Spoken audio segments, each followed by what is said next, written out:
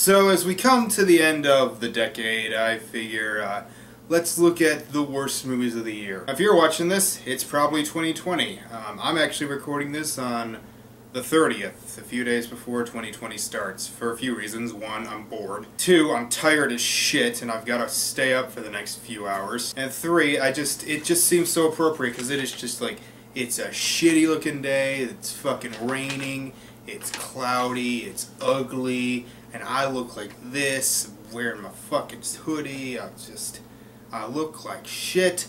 And what better way to talk about some shitty fucking movies? So we're gonna look at my worst movies of the 2010s decade. No freaking script, no big editing, no music, none of that bullshit. These movies don't deserve it. This is just one big final kick in the ass to the movies I fucking wasted my time on. So we'll be going in alphabetical order, and basically the only rule I got is uh, they had to piss me off. So there are movies that maybe are terrible, just completely fucking terrible, but I'm not going to put them on here because I didn't get that angry at them. There are a few where I'd say, was my anger that high? No, but they're just so bad. In this video, you will not hear me mention any of the films that won Worst Picture. I'm doing a whole video series on that in March, where I look at my the best and worst winners of the decade. A few of them would have been on here, and I'll mention them when we,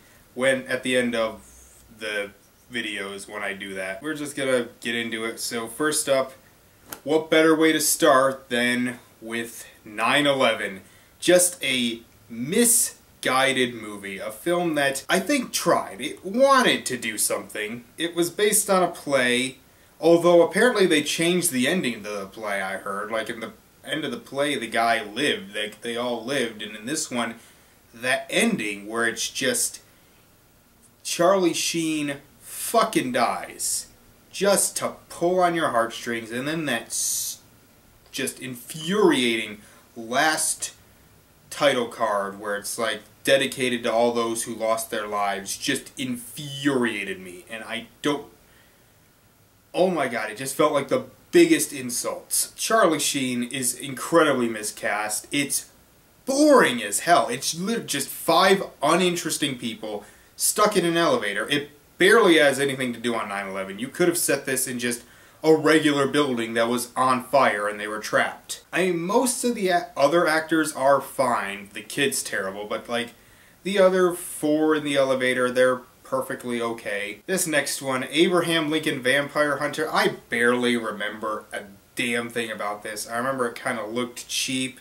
It was dull. It took itself way too seriously. It's a movie called Abraham Lincoln Vampire Hunter, and from what I've heard, the book is really good. And it also took itself seriously to the point where you're wondering, like, is that what happened? This one was just dull, and there's the guy they got playing Lincoln was boring. Only part I thought was actually any fun was the final part on the train. That part was cool. It's just a generic vampire movie. Plus you got the freaking Beck Bekmambetov slow-mo, fast-mo bullshit. Here we go. The Atlas Shrugged trilogy. The worst film series of the decade. The first movie is one of the most dull looking films I've ever seen. I mean, it looks like it should have been a TV movie in like the mid 90s. It is so dull to look at. The actors have no emotion. It is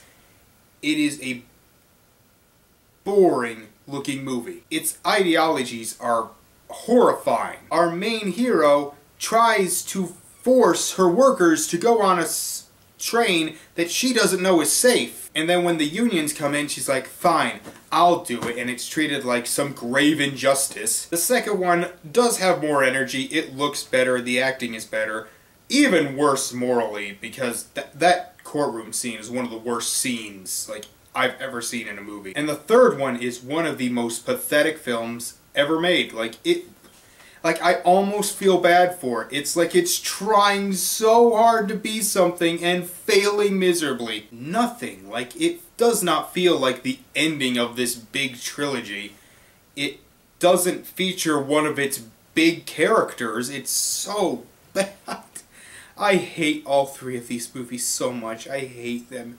Hate, hate, hate them. And yes, I absolutely burn those motherfuckers like discs and all. I guess we gotta get some uh, Happy Madison movies. Um, and first up we got Bucky Larson, Born to be a Star. That's the only way you can say it because it is just one of those movies. The main character is so stupid and so annoying that you just I don't want to see him. I don't I want him to go away. Like he's unappealing to look at.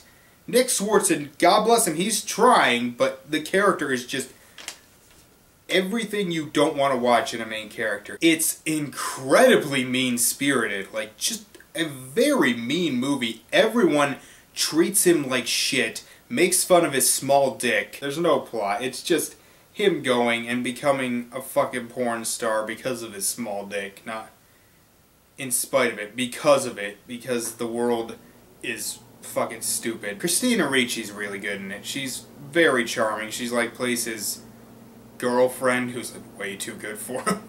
who wants to be a waitress. Uh, Cinematic Excrement has a great review on this. If you can find it on his Vimeo page, it's just a terrible movie. There aren't really that many Happy Madison movies. Most, I haven't seen a lot of them, but stuff like Grown Ups 2 and Pixels, like, what am I gonna say? I, I couldn't get that angry at them. Bucky Larson, born to be a star, definitely just fucking infuriated me. It's not funny. Uh, speaking of not funny, Cop Out. Uh, this one's just obnoxious. It's better than Bucky Larson, born to be a star, but it's not good. It's easily, in my opinion, Kevin Smith's worst movie. At least Yoga Hosers. I mean, it was different. Like, Cop Out is everything bad about the worst buddy cop movies with none of the charm. The two leads don't have much chemistry. The action isn't good. It's not funny. Contrived as hell. And Seann William Scott has just got to be one of the most obnoxious characters I have ever seen. Alright, this one, this is definitely one of those. I wasn't too mad, but it's just so awful that I had to put it on here. Dancing It's On. I watched this on Netflix in 2016, so about a year before Cinema Snob reviewed it. And it is... It's something special. Like, you... Movies just shouldn't be made like this, especially not in the 21st century where it's like it really is like the Manos of the 21st century because everything is ADR. Granted, it fits better than Manos, but like you'd have to fail spectacularly to fail to not have it be worse than Manos in 2015. Everything sounds off. The acting is awful. Just no one is good. The dancing's good, I'll give it that much. It's got like actual like professional dancers, but the characters are kind of stupid. It's generic. Nothing really makes sense. The editing is awful. It's so bad that it's kind of hilarious. First, uh, like half of it, maybe three quarters, but after a while it's like, oh my god, will this just fucking end? Like, this is just getting grating. Uh, here we go, The Devil Inside. The worst found footage movie ever released to theaters that I've seen. For the most part, it's just a very generic exorcism movie with no good scares. They're all predictable. Uh, okay acting, but generic characters. As a found footage movie, like, there's scenes where they're showing, like, security footage where you should be able to see the cameraman and you don't. Uh, I think Film Brain actually put, pointed that out in his review. Like, it's just not a very well-made found footage movie. Like, it's not that hard. Like, you're allowed to make mistakes in found footage movies because that kind of adds to the realism. This one was too, like, professional, and it made it worse. And then there's the ending, which I heard was coming, but it was so jarring that even if you know it's coming, you're not prepared for it. You're like, no, this can't be where it ends. Like, they have, there has to be something missing. Uh, next up, The Dinner. Just ugly. Ugly people, not, not physically, just awful human beings. everyone in this movie is a terrible person, which is kind of the point, but they're not enjoyable to watch. Like, you don't want to watch them. You want them to go away. You don't even want to see them die. You don't want to see them get any, any comeuppance. You just want them to go away because they are so fucking hateable. I know some people don't like the word pretentious, but this movie is just full of itself. It thinks it's so smart and so deep when it's not. It goes into long tangents about Gettysburg. Gettysburg has nothing to do with this story. It's about this these parents whose son is a little fucking monster and they're trying to protect him. And then it'll just go on these 20 minute tangents about fucking Gettysburg and it makes no sense and I Oh god, I hated that movie. I just hated it. The acting's pretty good, I'll give it that much. Uh, next up, here we go. Escape from Tomorrow. Some jerk with a camera has a great video on this. Watch that. Three parts. Uh, this is a horrible movie, supposedly about how evil of a corporation Disney is. I'm not to say Disney doesn't have its problems, but this movie is not a good example of pointing out its freaking flaws. It is so just like the dinner, full of itself, just thinks it's saying something so new, so different that you don't you could see in like silly comedies like National Lampoon's Vacation because it's just like oh you're trying to get an escape and have fun it's forced fun and it's actually making you miserable it's like no fucking shit the whole freaking gimmick with it was that it was actually filmed at Disney parks oh my god this was filmed at Disney I mean, you're you're allowed to film at Disney, I think. I'm pretty sure. I mean, unless all those people who do it are on YouTube are doing it illegally, like I don't know, but you're allowed to film there and it's it's really not that impressive. And even taking into account like this there's stuff like I get they're filming it guerrilla style, but there's scenes where they could have easily used a tripod. They have awful green screen, just terrible green screen. I just hated this family. I hated all of them. The dad was a perverted, just pervert. He's a pervert. The mom's a bitch. The two kids are just nothing. They're freaking nothing. They yell at each other. It reminds me of like the worst family vacation you've ever been on. And then there's these whole just stupid, weird shit it gets into with like the Siemens Corporation taking over and it's like what the fuck is even the point? Is Disney even at fault for most of these problems? Like, it seems Disney's not really that big a deal in this story. Fuck that movie. Alright, I'm putting these next two together. Fifty Shades Darker and Fifty Shades of Black. Fifty Shades of Grey obviously can't get on here because uh, it won Worst Picture, and I'm not putting any of those on here, but Fifty Shades Darker is just the worst. It, it's, it's worse in every way. Every single aspect that the first movie did wrong is worse here. Uh, the acting is worse. The abuse implications are worse. It's more boring. Like, less shit happens. Like, there's... This movie really doesn't have much of a plot. Like, it really doesn't. Anytime it tries to have something happen, it'll immediately get resolved. Like, there's this crazy ex that Christian has who keeps following Anastasia, and she when they finally confront her, he uh, talks to her off screen and then she's gone. And uh, what else happened? Like, there's a helicopter crash. Christian gets lost in a helicopter crash and they're worried. And then, like, two minutes later, he shows up and then nothing else. It's just a terrible, terrible movie. But even the stuff that was good in the original, because I hold that there were good things.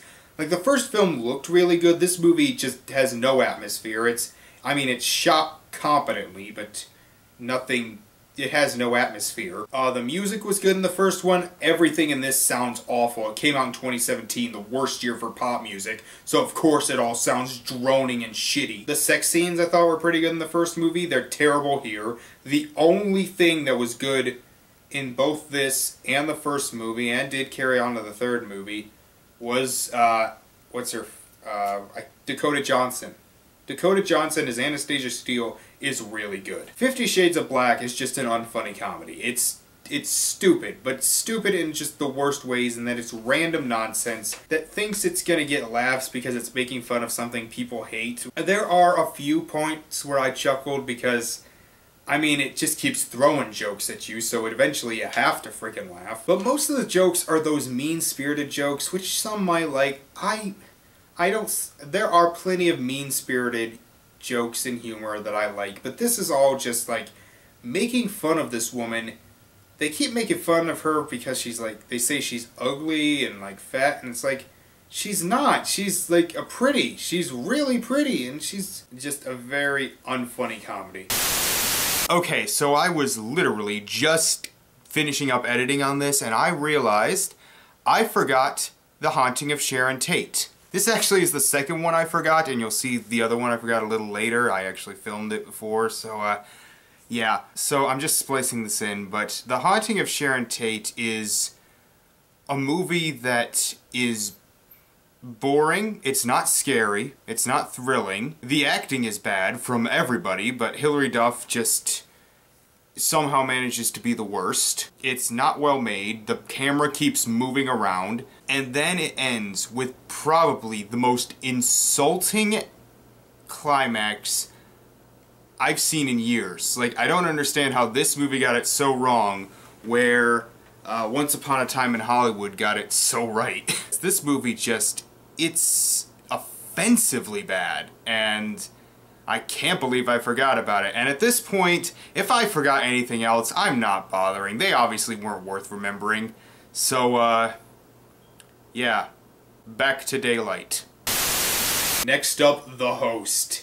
None of the Twilight movies are on this list, uh, but The Host, that one, that one's awful. That one is everything bad about Twilight with none of the good stuff and everything bad is worse. Boring to look at. It's, I mean, the cinematography is good, but it is boring to look at. It is mostly brown. Like, it is just brown. The, you think of the movie, you think brown, and I don't like looking at it. The acting is bad, but Saoirse Ronan, oh my god, she is, it's amazing that she would later go on to freaking Ladybird and Little Women. It's like, how do you go on from this to that? Because she is awful. She has to play two characters. One, this stoic freaking alien, and then as her goddamn uh, inner monologue, and she sounds awful. Like, it's terrible. It's all voiceover, and she proves that she cannot voice act. It's boring as hell. Very little happens. And then you get into the weird kind of rapey vibes. I mean, she is this alien took over this girl's body and she's falls in love with another guy who's not the real girl's boyfriend. So you're kind of just like uh, and they're kissing and they're kind of thinking about sex and it's like this is a little creepy. In my opinion it is far worse than twilight. I would watch all five movies and yes that includes breaking dawn part one back to back to back to back to back over watching the host again. Alright, next up, I Frankenstein. This is a nothing movie. This movie has no point. Like, it is a movie that sets up its plot and goes through it. It never attempts to engage you. It, it doesn't attempt to give good characters. It doesn't attempt to give character development. It doesn't try to immerse you in the world. It doesn't try to make the plot interesting. It just puts you in this story and they go through it and that's it. Aaron Eckhart is fine, but the action scenes, I just remember them being really badly edited. It's like they would cut like a frame before like something would hit and then cut and it's already past where the point of impact was. Like I can't remember a damn thing about this movie. This was I I think is this was this part of the dark universe, I think like this was one of their attempts to try and start the Dark Universe, and they just kept failing at it. Uh, Left Behind, the 2014 version. I've never seen any of the other ones. This movie is so lifeless.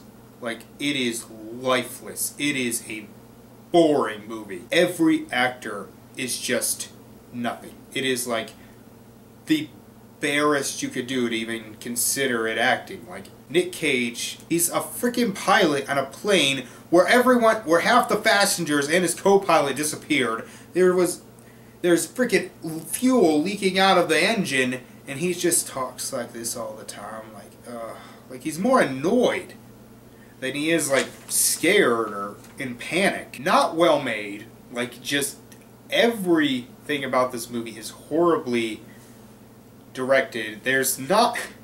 And there's, this is like the most tame rapture you could ever see. Both Cinematic Excrement and Cute Fuzzy Weasel have great reviews of this. Uh, also, I Hate Everything has a good review, and he actually brought up something that I really don't want to just assume, but the fact that there was a Muslim guy, like, on that plane who didn't get raptured, even though he's a perfectly decent dude, very devout in his faith, and just the fact that he gets left behind just that's some very bigoted shit right there. Next up, Let There Be Light.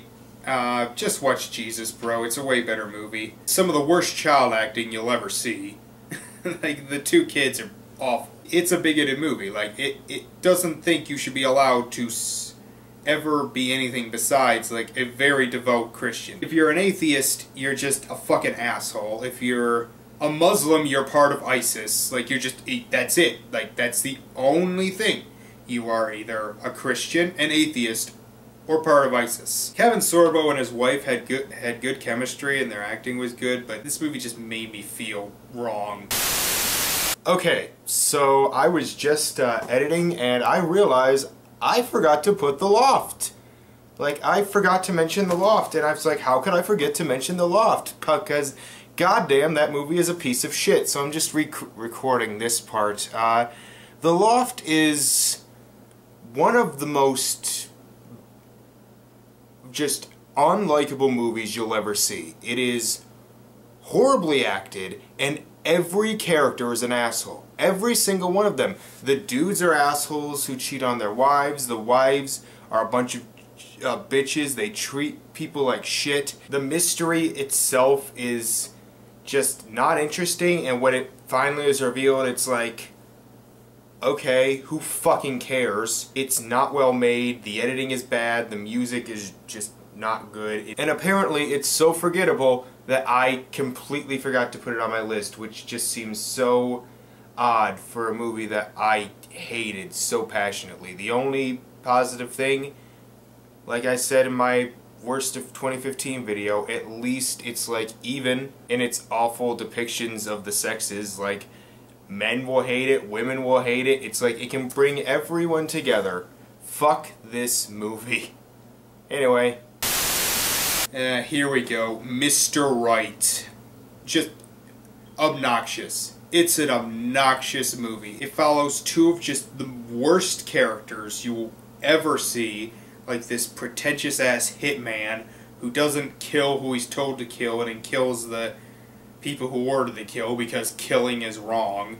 And then just the most freaking stereotypical millennial you'll ever see. Like this Anna Kendrick's character is straight up millennial blackface. Like I wanted to just go out and punch myself and every other millennial I find. Decently shot action scenes with no tension because there's no because they, they can't get they can't die, they can't get hurt. They they have superpowers. The bad guys are just the dumbest people on the planet and it's just full of douchebag humor. And if you want more, you can see my review.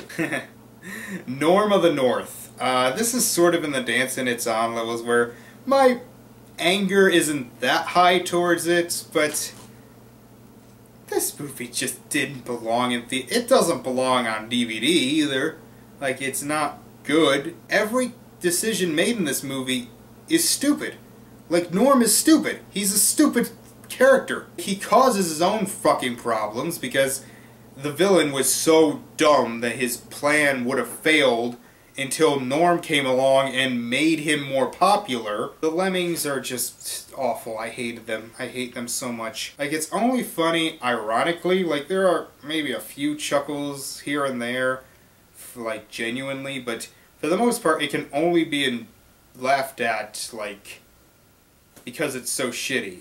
But even then, like, by the halfway point, it just becomes insulting to the point where I'm like, oh my god, I just shut up, just end, just please, no more. Uh, I did see the next two sequels. I don't know how many there are at this point, but I saw the other two on Netflix, and honestly, they're bad, but I don't think they're as bad as this. Granted, I was drunk during both of them, but I don't know. I, I kind of liked his kid. Maybe it's just because he's voiced by Terramar from MLP, but I don't know, I kind of liked his kid, and they're terrible, but everyone's talked about it. Like, you can just look up Norm of the North rant or review, and you'll find stuff from freaking Animat, the Nostalgia Critic, Cell Specs, Mr. Enter. Everyone's done something on Norm of the North, and for good reason, it just gives you plenty of material. And another one that kind of goes into that not that high on my hate-o-meter, but just so incompetent. The Oogieloves in The Big Balloon Adventure. So I saw this movie like shortly after it came out on DVD. Like it was on Netflix and it is just everything it's just the worst stereotypes of like a kids movie because it condescends to them, gives them kind of terrible lessons under the guise of entertaining them. Like when they have to get these balloons, they'll climb up freaking trees that are stories high, a freaking plane.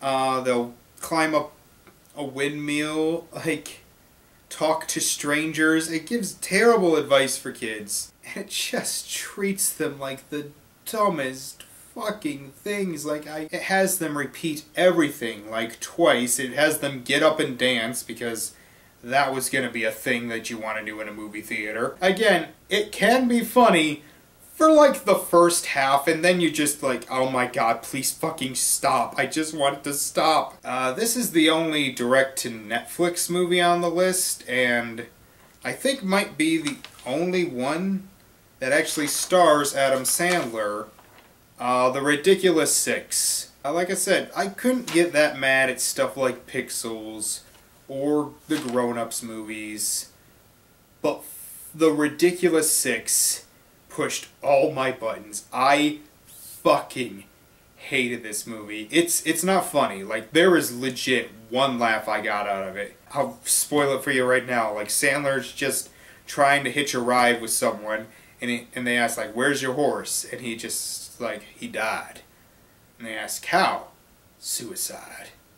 And that was like the only joke I laughed at. Sandler's character is a Mary Sue. Like he is he could do anything. He's a fucking superhero. The fact that he doesn't just freaking save the day within seconds is a point against the movie. The other five of the ridiculous six are all annoying. You got Taylor Lautner playing a fucking just dumbass. Rob Schneider and his fucking bull, uh, not bull, donkey that shits, like, project, projectile shits. The guy from Lost plays, like, a guy who can't speak. It's way too long. Like, this thing, I think, is over two hours.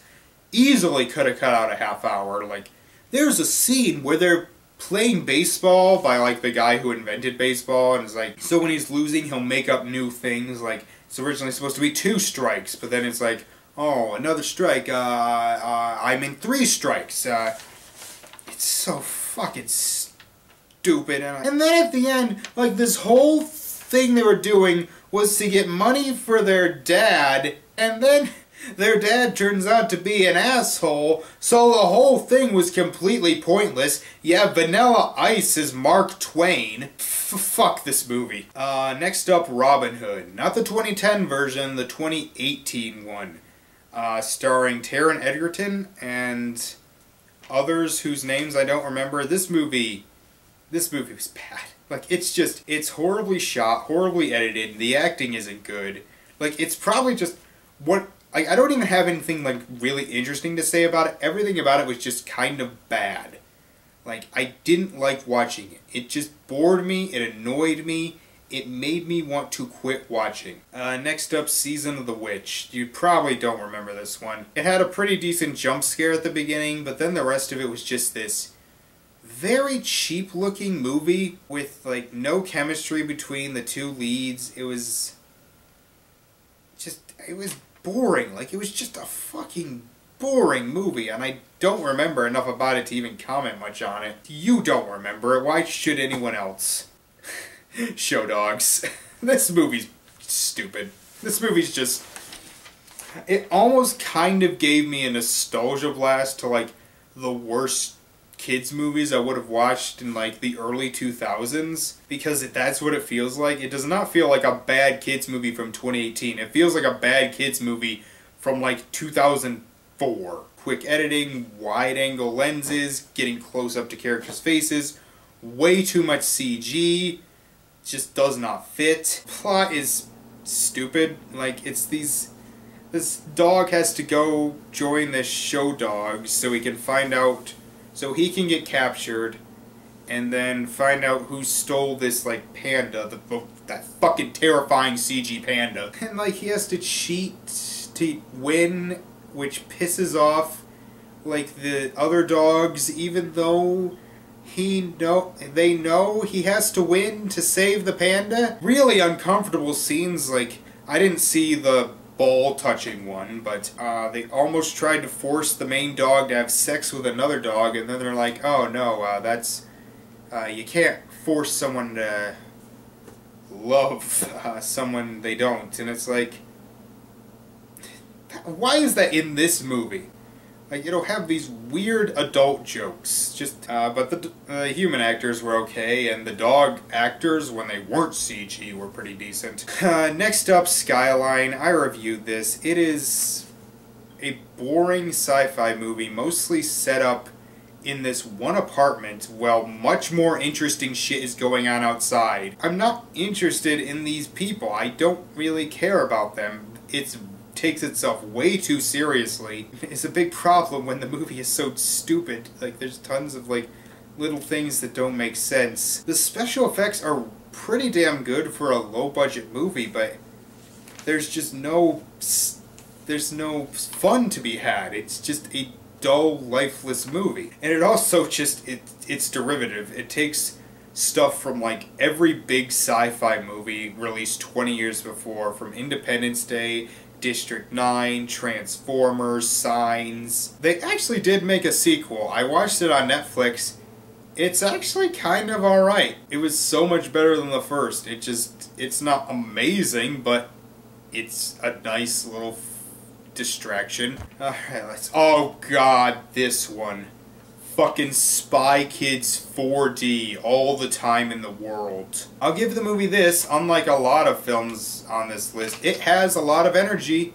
Like, it tries to do to have a lot of big, elaborate, fun scenes, over the top shit. The first three Spy Kids are huge guilty pleasures of mine. I actually rewatched them recently, and they are definitely childish, but there is sort of this cartoony quality to them. Like they're just they just embrace that and have fun with it. This movie has no charm. Like it's every joke is either toilet humor or a time pun. Like the bad guy, like his whole thing is time.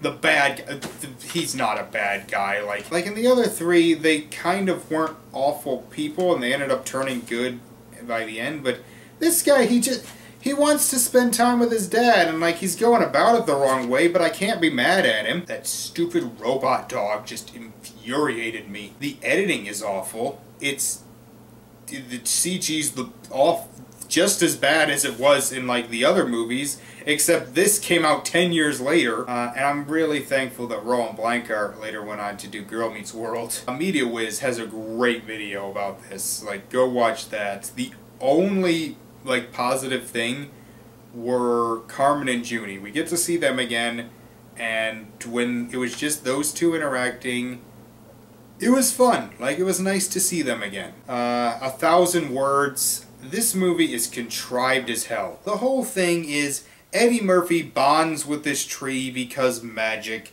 And so every time he says a word, a leaf falls down, and uh, the more and once all the leaves are gone, he dies. Okay, there's like a thousand leaves left, a thousand words. Makes sense, fine.